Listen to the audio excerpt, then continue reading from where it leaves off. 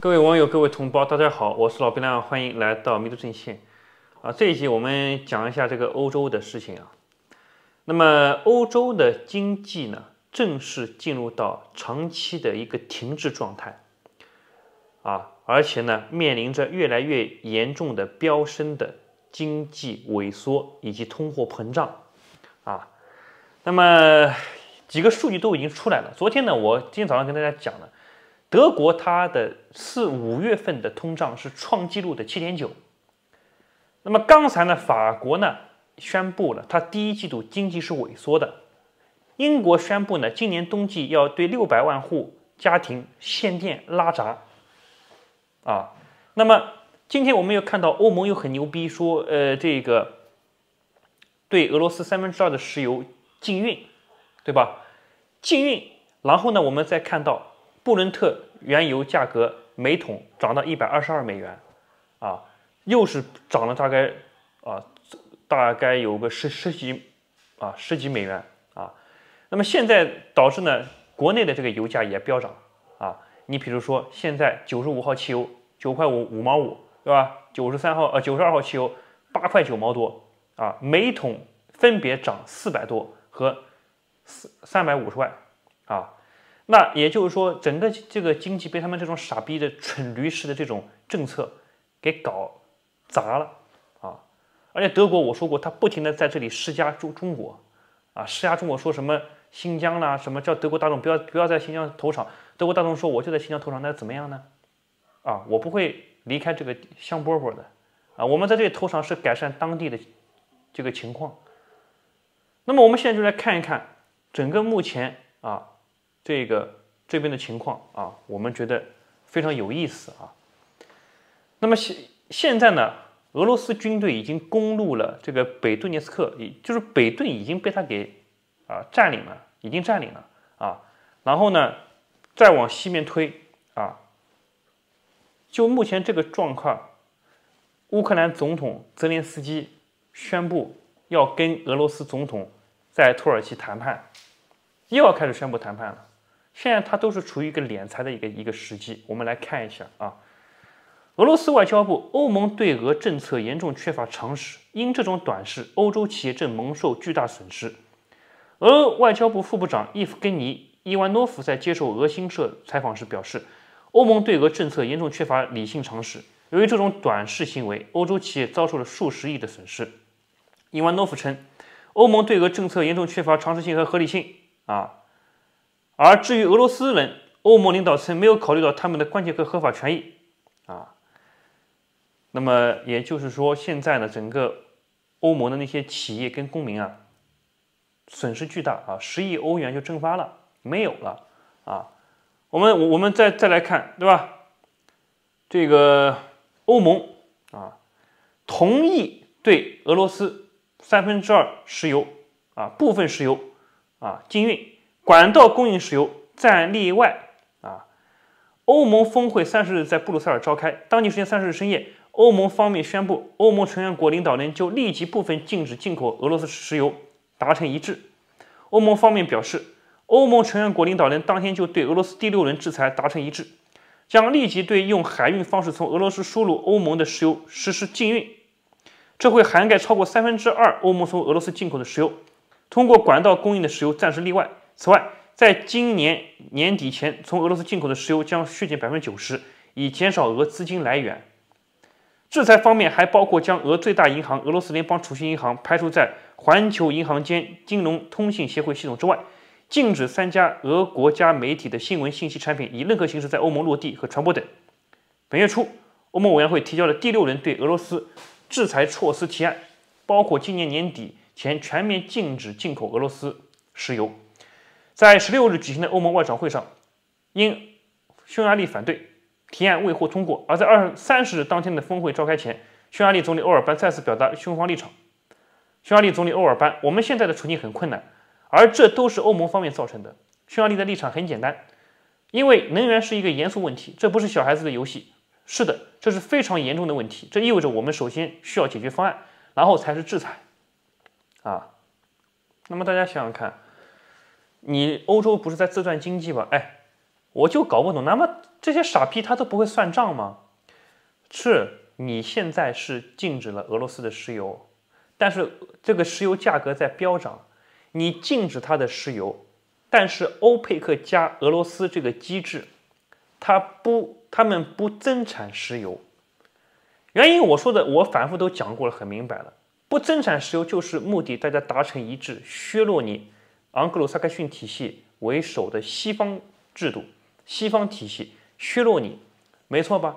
那俄罗斯的石油你是不进口，但是你不进口，你只要不进口一桶，价格就往上面涨；你不进口两桶，就往上面涨，就是这样子的啊。对吧？原来我看这个一桶是在一百零几美元左右，现在飙到一百二十几，下一步还在往上涨，涨到一百三、一百四、一百五。对啊，俄罗斯它还是在挣钱，我的量是可能对你的量是少了，但是我钱没少挣啊。我说过，俄罗斯打仗到现在，他宣布他的政府是有盈余的，第一季度有一点一万亿卢布的盈余，他现在给俄罗斯人加百分之十的工资。加百分之十的养老金，加百分之十的其他福利保障，就是那些社保什么的，加百百分之十，全都在加钱。这钱哪里来的？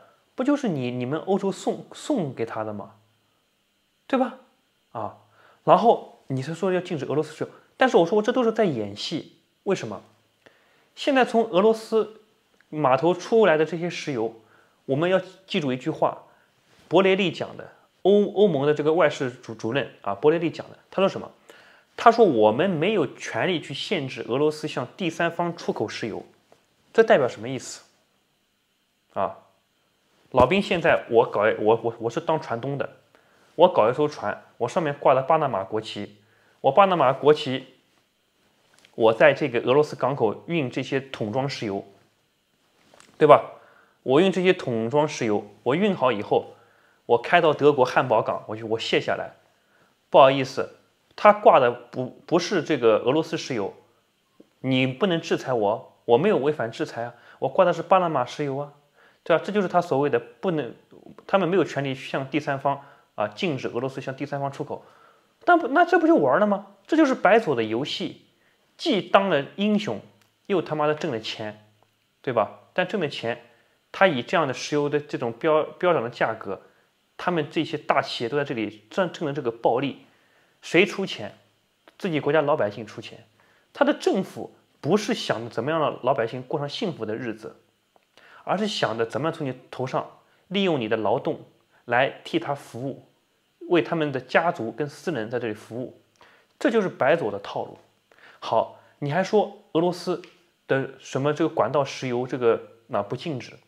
管道石油不禁止，套路很明确。我管道石油打过来的石油，比如从匈牙利这边进来，对吧？打到这个地方来，匈牙利作为一个窗口，我分发给欧洲其他国家石油，对啊。然后他们说什么？我欧盟，我所有的国家都禁止了俄罗斯的石油，都对俄罗斯的石油说 no。但是匈牙利，它作为一个窗口，它在接收俄罗斯的石油。那我从匈牙利这边管道里面，我分出来石油，可以不？哎管道石油跟轮船跑的石油价格是不一样的，管道的天然气跟轮船运的天然气价格是不一样的。你说这玩的都他妈文字游戏，把他妈那些欧洲老百姓耍的团团转，哎呦，天天牛逼的很。你看我们这么艰苦，我们还是对俄罗斯不屈不挠，然后讲一个叙述故事，搞他妈大内宣，多牛逼呀！你看我们对俄俄国人这么牛逼，对吧？你看打到这样，我们还没有屈服，然后呢，再配合那些假新闻。为什么不允许俄罗斯的电视台在欧洲落地生根？不能在这里进行传播？为什么？因为我说过，俄罗斯有大量的战地记者在现场，那总不会是假的吧？实时摄像机举着，或者在 YouTube 上面被封掉。有 YouTube 他在那边开的直播，他在那边打的，看到乌军被炸得稀巴烂，那这个总不会是假的吧？这东西不能在欧欧欧盟播，因为在欧盟播，民主就输给了民主就输给了威权。那对政府是不利的，但这一套东西，欧洲那些其他那些国家都了解，但只有像瑞典这种北欧这种傻逼国家，他不了解。瑞典跟芬兰，他们要加入北约的意思，大家知道是什么意思吧？他们被这些新闻啊耍了团团转，他们自己愿民众自己愿意去相信这些新闻，他们认为，哎，现在俄罗斯节节败退了，乌克兰已经达到了俄乌的边境。现在你在欧洲看到新闻，跟咱们了解到的新闻是不一样的。你现在 YouTube 上面英文频道，你是不能够去播报俄俄罗斯这个战况，俄罗斯比如说胜利了，或者说推进了，你是不能够播播报的，大家明白吧？不允许你播报啊。那就这样，他的这些芬兰、瑞典的民众认为，已经要把莫斯科给打下了，他们要参与瓜分俄罗斯的这一天到了，这是他们的想法。哎，就是这帮人，他现在还是这个想法。你认为这种脑子的？民众，你觉得他有多多他妈聪明？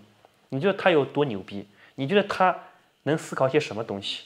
他什么也思考不出来。我跟各位讲啊，今天为什么欧洲的这些民众这脑子这么傻逼？就是因为他们用的教材跟我们国内现在被举报出来的毒教材是一模一样的。所以你现在知道这种毒教材对民众的危害有多严重了吧？就是让你这个国家老百姓变成傻逼。这个教材，你去看欧洲也教材也是，他也是在那边。